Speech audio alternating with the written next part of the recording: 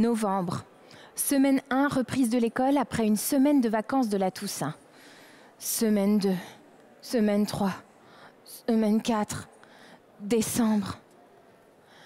Bonjour jeunes gens, bien aujourd'hui nous allons voir si votre cahier de grammaire finit par vous rentrer dans le crâne. Bien, y a bon. Voyons. Mademoiselle Lehuche, allons, levez-vous. On vous écoute. Les autres, silence. Les pronoms. Alors, mademoiselle, je vous écoute, j'attends. Je suis, je, je- livre, je- Jacques, je, ne comprends plus rien. Ah. Little shy, won't you dance with me? C'est vous les Beatles? Vous portez des cravates? I'm so glad and lonely. Baby, take your chance with me. Beep, beep, yeah. Où allez-vous? Une fête Ou quelque chose ce genre? Messieurs, Beatles, attendez. Je veux venir avec vous. Attendez. Où êtes-vous? Où sont passés mes pieds? Elle serait pas un peu à côté de ces pompes? Je suis une fille à la noix. Tout se passe dans son imagination. Il n'y a pas de chagrin ici. Allons. Le proviseur en personne. Ça va, mademoiselle? Ah ouais, elle est tombée dans les pommes. Elle a fait un malaise Laissez-la respirer, ok? Trop chelou. Cette fois, j'avais la preuve que ça n'allait pas. Joie intérieure, malaise égale truc sérieux. Eh bien, ma petite, ça n'a pas l'air d'aller, on va prévenir vos parents. Cette petite est toute faible, il faut qu'elle se repose. Bien sûr, docteur, on va s'occuper d'elle. Il faut absolument qu'elle reprenne des forces du poids avant de retourner à l'école. Oui, oui. On fait quoi? Je sais pas. Phase 1, accomplie, inquiéter mes parents. Pendant plusieurs semaines, mes parents essayèrent de m'aider à aller à l'école. Tu viens, Magali, je t'emmène en voiture. Tous les jours, mon père m'amenait devant le collège. Allez hop, on y va, ma cocotte. Tu sais, moi aussi, quand j'étais petit, j'aimais pas bien ça à l'école.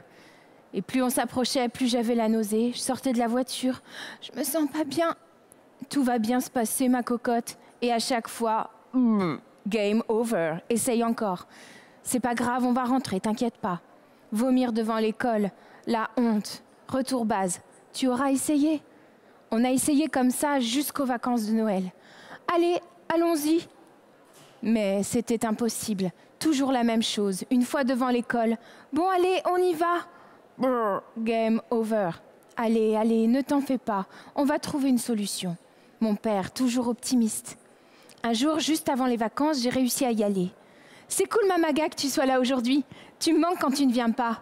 Agathe, réconfort numéro un. Ah, mais c'est le gros bébé qui peut plus aller à l'école parce qu'elle a trop C'est bon, lâchez-la. Et tu vas tomber dans les pommes aujourd'hui? Tu vas faire ton petit vomi ce midi? Il n'y aurait pas une odeur de vomi là? Malaise total.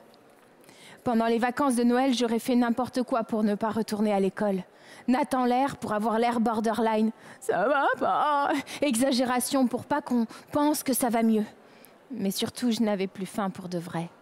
Et pour de vrai, je n'allais pas bien et mes parents non plus à cause de moi. À la rentrée de janvier, c'était officiel, ça n'allait pas et mes parents passèrent à l'action pour me sauver. On va trouver une solution. Phase 2 accomplie. Ils m'ont emmené parler avec une dame qui a enfin trouvé un vrai nom de maladie à mon problème.